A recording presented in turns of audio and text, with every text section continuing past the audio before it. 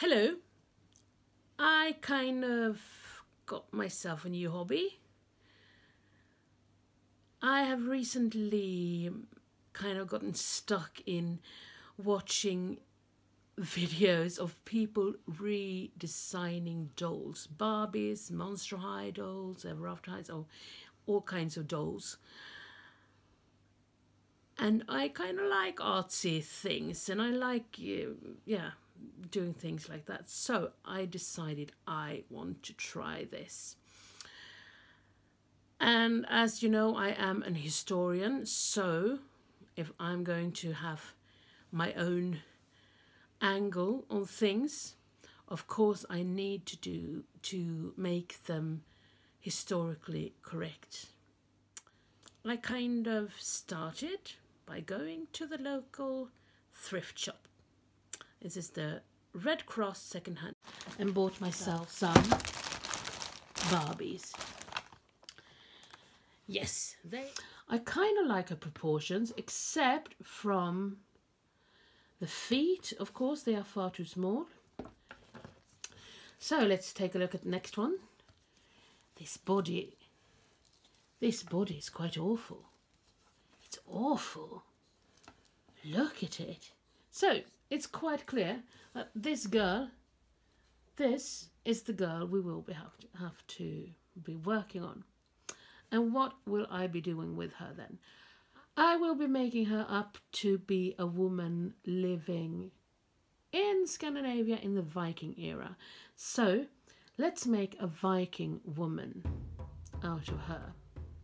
Uh, not a warrior woman, a regular woman living in a house somewhere in Sweden or Norway or Denmark. And she will first have to be rid of her hair. I will take her head off and I will take the paint and the body sculpt off. It might be that her boobs are a bit too big and a bit too perky. I'll see. I wonder whether I can just file off a bit on the top so, so I can give her a boob job. Actually, I'm thinking of giving her her a boob job.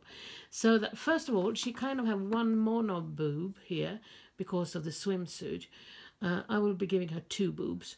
And then also they have to be a bit smaller and, and I will be looking at some reference pictures because I have um, seen very nice pictures of women in Viking clothing where you clearly can see the, the, the shape of their boobs and they don't wear bras uh, because people didn't wear bras in the Viking era. So, well, the original painting was taken off with acetone and um, all the doll repaints videos I'm seeing that they say that you can take the original paint of with acetone.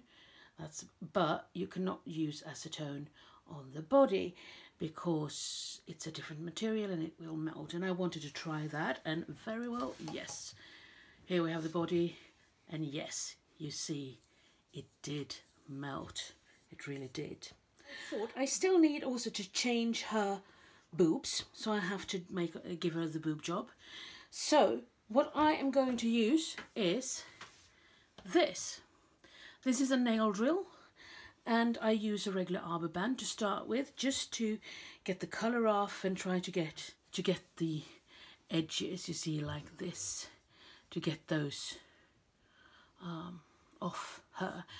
So let's just start this.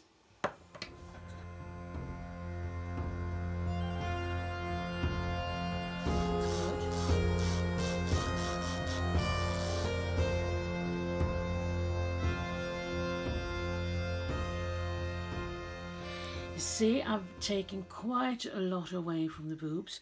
And here actually see it's dark there. It's um, so much I've taken so much off that is actually the plastic is so thin. now. Now I have the body. I will now start working on her clothes. Because most reenactors they, they make them straight like this. Just straight. And then they had they have like um, they widen the skirts with oh, what's the name for this then in English? I don't know. They widen the skirt. Uh, the same thing, the sleeve is like this, but there is also a square here uh, in the armpit so that you can you can also have these um, triangles one of those in here as well so you, you kind of cut up to there. I don't think I will do that. I think and then you have the hole for the neck and then you have uh, mostly you have an opening with a like a knot to tie there or something. I think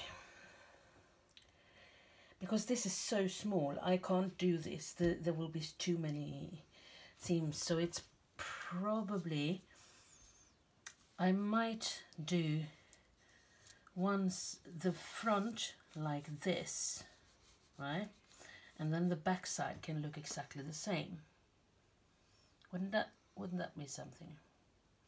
And perhaps the sleeves I will have to make and make it with a triangle here because that's what happens when you so I, I will make them like that. That's a sleeve. I think so because then I just have one seam there I have one in each side and I have I don't even need to have the one in the shoulders. I can make it long like this. So it I, I make it in, in one. Because I have to I, I, I need to use as few uh, seams as possible I think. I think so. So this is the plan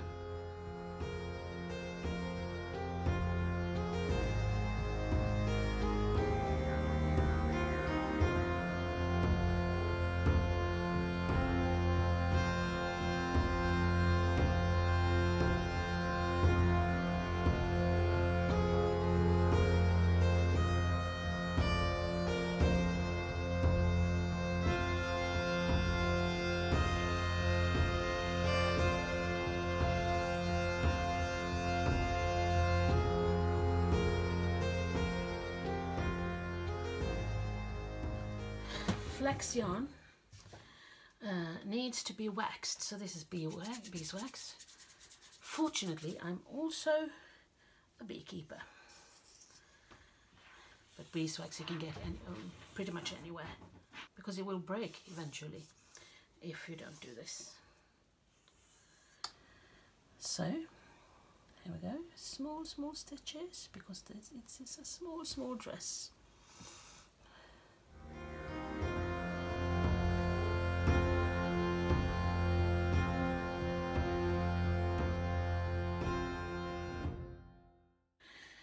So there is trouble in paradise. This fabric actually is too scarcely it, it's not densely dense enough uh, the weave of it. Let's see look at this. It can't take the stitching you know. So I will start over and I will start over with oh sorry this fabric. This if you compare this is also a flax, linen flax, so I'll have to demolish this a bit more. You see how different the threads are to each other. It doesn't sound like flax, but it said it on the on the label, so it's supposed to be flax. Uh, so, as the stubborn person I am, I will start over. I can't use this. I've learned that now. I guess I'll get back when I um, have gotten to about this stage with this fabric instead. Here is her, the dress I made. So I think while I'm doing all of that research that I have to do, because I have some decisions to make, I have to decide what to make for her for her overdress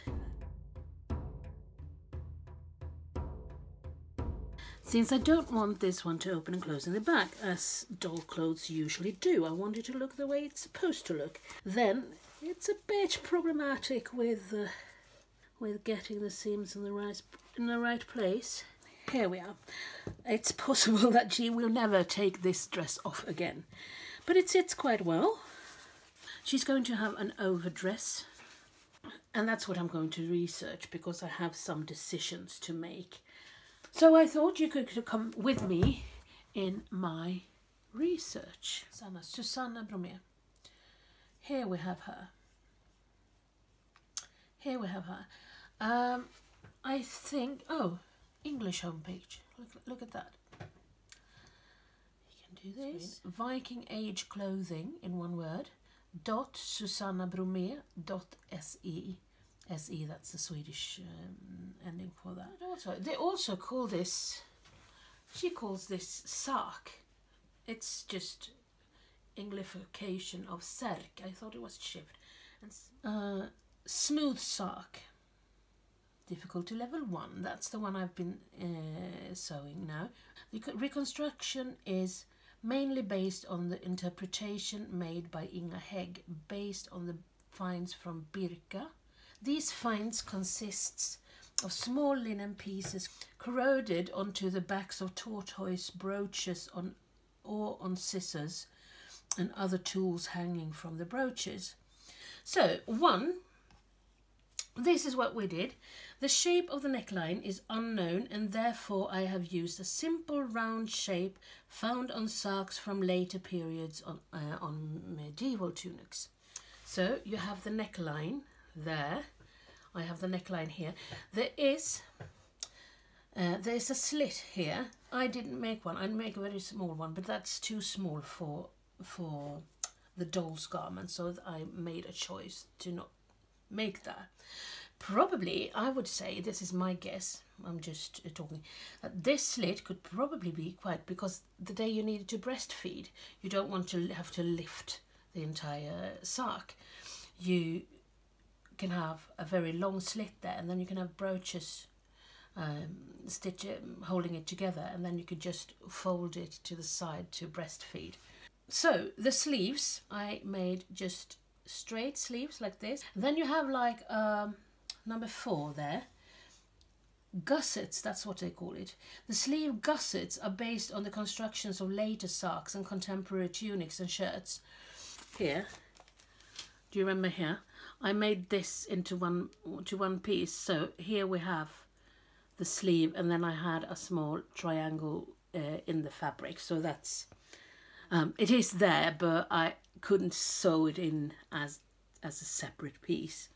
Archaeological ev evidence for the length of the sark is missing, so it's based on pictures and figurines. So we can't really know whether it was this long or whether it was just halfway. But uh, probably, I, that's also a guess. It could be different from different sark. One you used in wintertime and one you used in summertime, and perhaps the summertime one is shorter. That's possible. The side gores, these here, are also based on the construction of later sarks and contemporary tunics and shirts. Pattern. I made this and made made them in one piece. So they are there, the gores, but because you see it is much wider there than there. But the same thing there. I can't, it's too small. Um, I can't actually make them. It would be too much. Isn't this the overdress? Fitted smocker from Birka Haithabu. The reconstruction is mainly based on the find of a half back in Haithabu, with the support of finds around the tortoise brooches in Birka. The construction of the straps is based on a large amount of loops found in the tortoise brooches in Birka and Norway. Uh, in Birka, there are no indications that the smocker should have been open in the front or at the sides of the tortoise brooches. Difficult to say. Everything points to a smocker which is closed around the body. Okay, that is the overdress is the smocker. A cord or a strip of silk along the upper edge can be found in a number of cases in Birka. We have no archaeological evidence for the length and width, including possible gores. Pictures and figurines show that the smocker possibly was shorter than the sark. So, I think I have now decided I will make the, the fitted smocker and I will make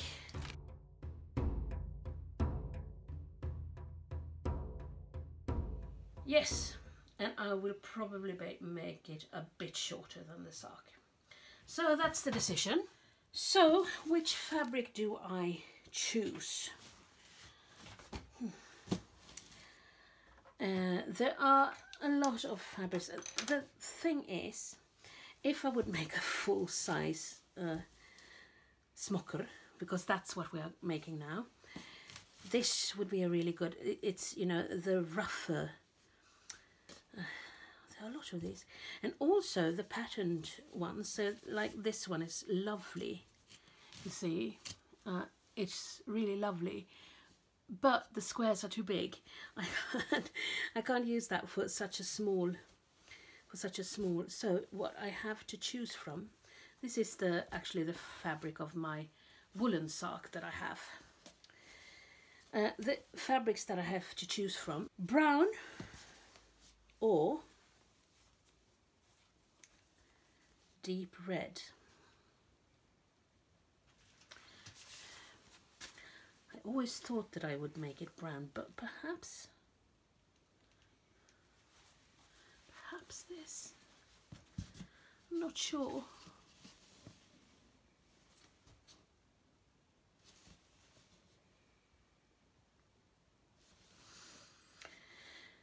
So, am I am I going to make an everyday dress or am I going to make a, a like a party dress, a fancy dress? I will make all the jewelry and things like that. So, it's not a dress for her to work in, and there will be silk ribbons on it. So, red it is. She will get a red. I will have to get a larger piece than that one. There. This burgundy, really, really dark, deep burgundy colour. These are the two alternatives I have for the shoulder straps. This is a flax yarn. As I said, seems like it's the best to have the same fabric. That one is really much like it. Let's see, and this is a woolen yarn, but it is more burgundy coloured.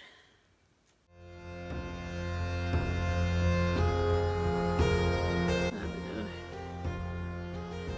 Yeah, this is it.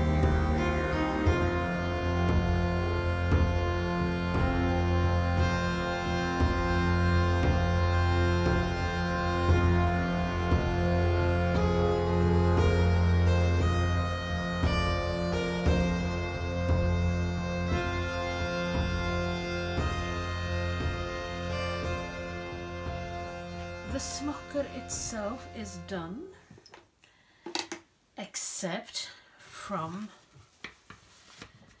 uh, this band that is supposed to go just here, done uh, just under the hem here. Possibly also as decorations down there, we'll see. And she is getting dirty because my table is so dirty. So, this is what she looks like. Uh, I have not done this version of braiding myself before, but I have seen other people do it, so it shouldn't be that difficult, I think.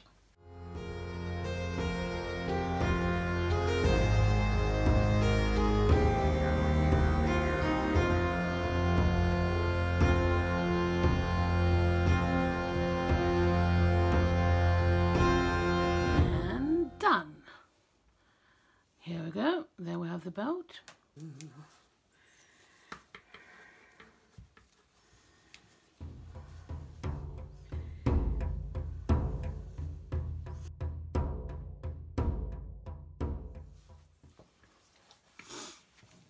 There we have it.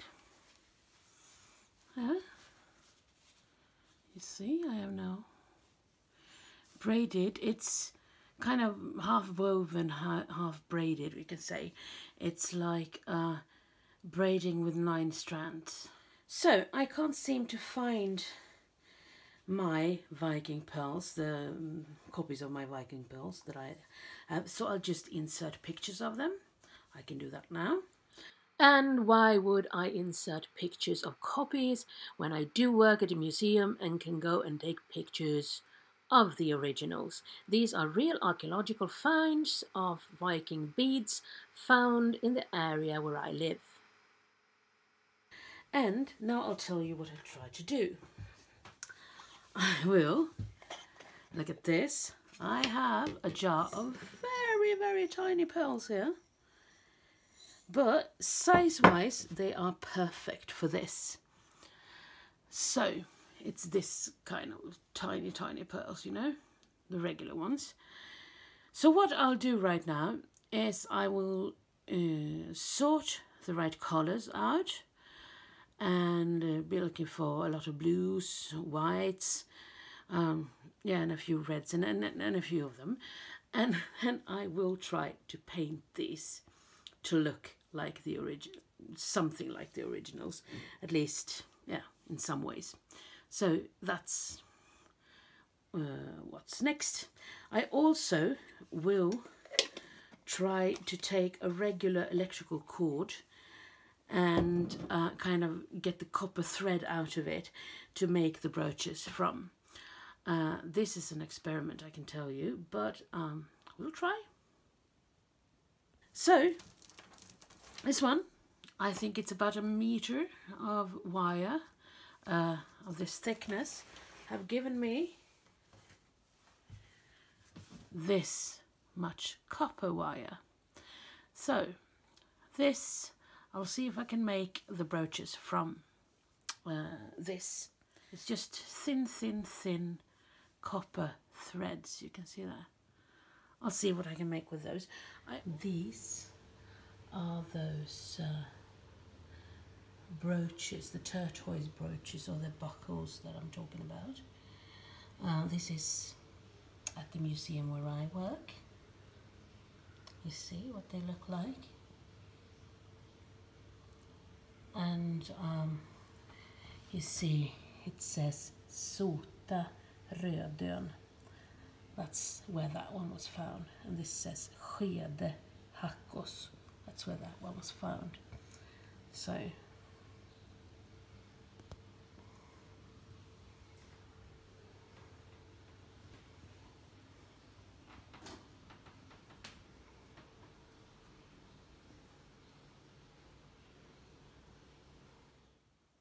So I um, worked a bit without telling you about it. Brooches, you can see them there. They are made from copper wire and I have made the pearl strings.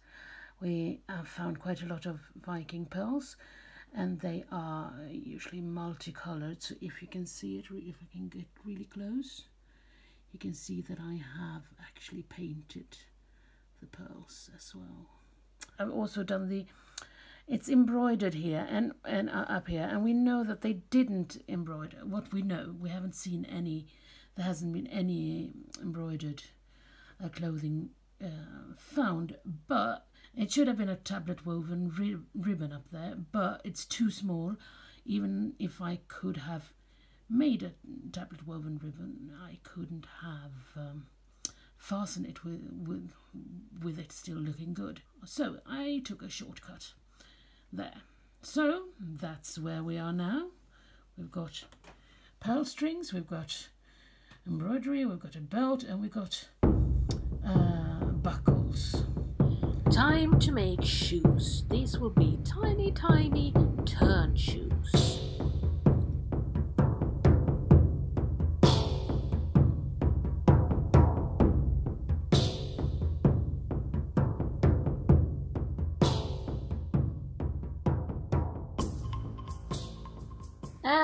Here we are.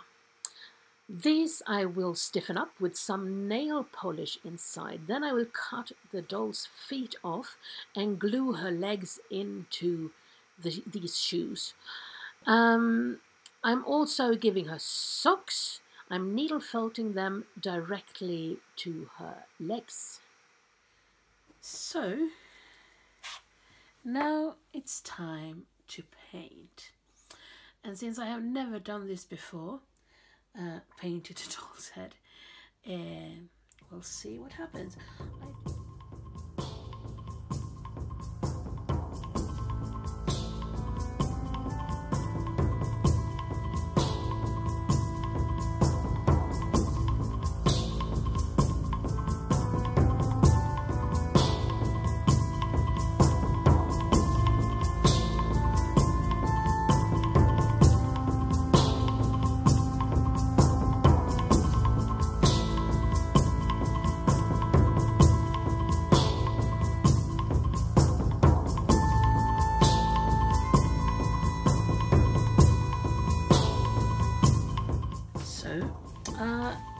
I have painted the head. Now it's time to paint hands and neck.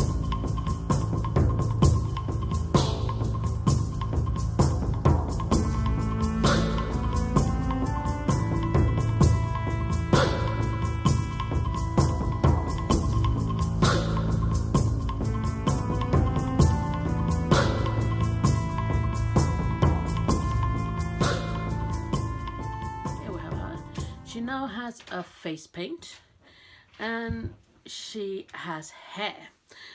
The hair is made from flax, that's the same material as her sark. You know, the shift, the undergarment that she has, that um, it's the same material. Uh, but this is, of course, unspun. So let's see, we have a parting about... Oh.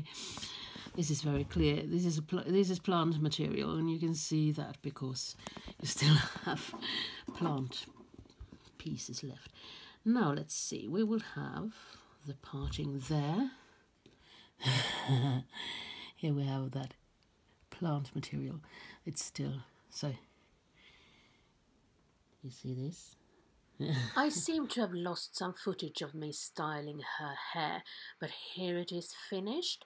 And I also made a knife and a case for a sewing kit made from reindeer antler.